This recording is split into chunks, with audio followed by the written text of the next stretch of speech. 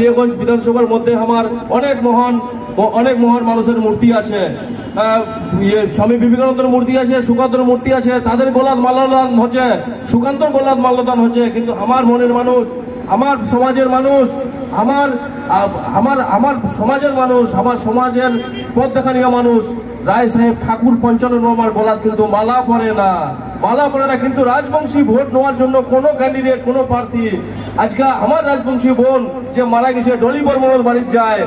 আমার রাজবংশী ভাই যে মারা গেছে, মৃত্যুঞ্জয়ের বাড়ি যায়। কিন্তু আমার মানছি যে আছে ঠাকুর রায় সাহেব বর্মা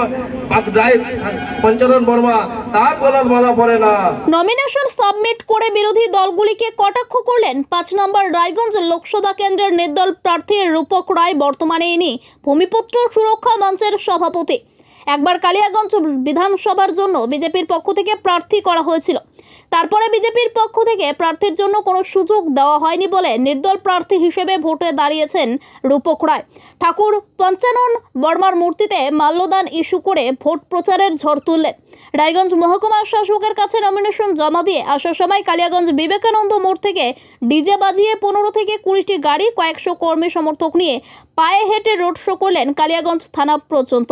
কালিয়াগঞ্জ থানার সামনে থেকে গাড়িতে উঠে ধনকল মোড় অবস্থিত ঠাকুর রায় সাহেব পঞ্চানন বর্মার মূর্তিতে মাল্যদান করে। ক্ষোভ উগড়ে দিলেন বিভিন্ন রাজনৈতিক দলের বিরুদ্ধে। উত্তর দিনাজপুর থেকে হরেন্দ্র কুমারের রিপোর্ট হার্স নিউজ। দেখতে পাচ্ছি আজকে তো আপনি নমিনেশন সাবমিট করলেন। কোন দল থেকে কি বলবেন? আমি নমিনেশন সাবমিট করলাম। মূলত এটা আমাদের ভূমিপুত্রের লড়াই। আমরা আশা করেছিলাম এবং আমরা আমাদেরকে আশা করেছে আমরা দু হাজার নয় সাল থেকে কেন্দ্রের কোনো এক রাজনৈতিক দলকে আমরা সমর্থন করে এসেছি এবং তারা আমরা তারা আমাদেরকে বিভিন্ন রকমভাবে প্রতিশ্রুতি দিয়েছিলেন যে আমরা যদি ক্ষমতায় আসি, তোমাদের জন্য একটা পারমানেন্ট সলিউশন করব।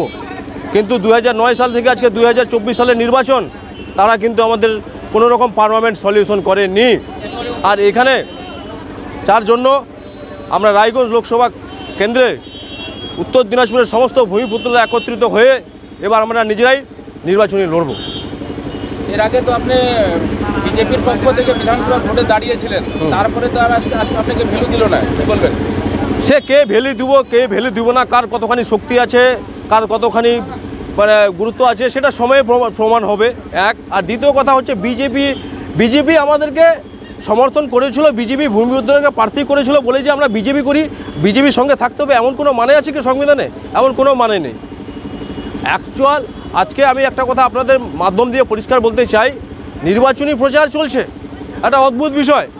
আজকে আমাদের সমাজের মনীষী, জাতির জনক, রায় সাহেব ঠিক, সাহেব ঠাকুর পঞ্চানন বর্মা, ধনকল মোড়ে আমাদের ওনার মূর্তি আছে। আজকে সুকান্তর গলায় মালা পরে। স্বামী বিবেকানন্দর গলায় মালা পরে। কিন্তু আমাদের যে মনের মনের এবং প্রাণের মানুষই রায় সাহেব ঠাকুর পঞ্চানন বর্মা, তার গলায় কিন্তু মালা পরে না। অথচ আমাদের কিছুদিন আগে দেখা গেল, আমাদের ঘরের মেয়ে, আমাদের এক ঘরের ভাই মৃত্যুঞ্জয় বর্মন মারা গেল রহস্যজনকভাবে। আমাদের এক ঘরের বোন মারা গেল, সে ওর রক্তজনক ভাবে মারা গেল। কিন্তু রাজবংশী সেন্টিমেন্ট বা এই ভূমিপুত্রদের সেন্টিমেন্ট নেওয়ার জন্য আমাদের মনের মানুষকে সম্মান না জানিয়ে রাজবংশী সেই ওই ওই বোনের বাড়িতে যাওয়া হয় আর ইয়ের মৃত্যুঞ্জয়ের বাড়িতে যাওয়া হয় অথচ আমার প্রাণের মানুষকে কোনো রকম সম্মান দেওয়া হয় না এটাকে ধিক্কার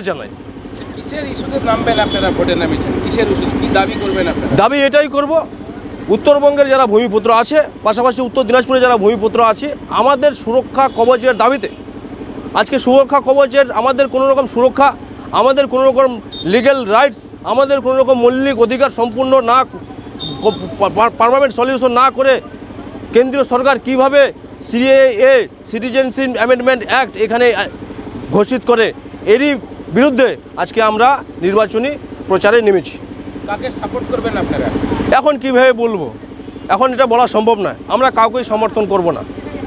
কেউ আমাদের সঙ্গে সমর্থনের জন্য বলতে পারে অনেক রাজনৈতিক দল অনেক রাজনৈতিক দলের কাছে ভোট চাইতেই যেতেই পারে ভোটের ব্যাপার চলছে। কিন্তু আমরা কাকে সমর্থন দিব না দিব এটা এখনও কোনো প্রশ্নই আসে না।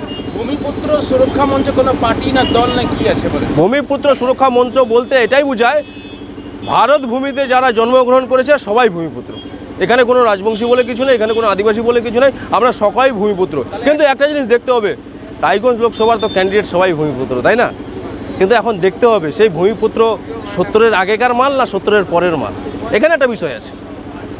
তাহলে আমরা মনে করে নিতে আপনার নির্দোষে দাঁড়িয়েছেন তাহলে। নির্দল থেকে হ্যাঁ ভোটে দাঁড়াতে গেলে বা নির্বাচনে লড়তে গেলে কোনো পলিটিক্যাল পার্টির প্রয়োজন আছে কি? কোনো পলিটিক্যাল পার্টির প্রয়োজন নেই। যে কেউ ভোটে দাঁড়াতে পারে। যে কেউ তার মনের কথা প্রকাশ করতে পারে। যে কেউ তার পার্লামেন্টে মনের কথা তুলে ধরতে পারে। এটা ভারতবর্ষের সংবিধানের লিগ্যাল রাইটস আছে।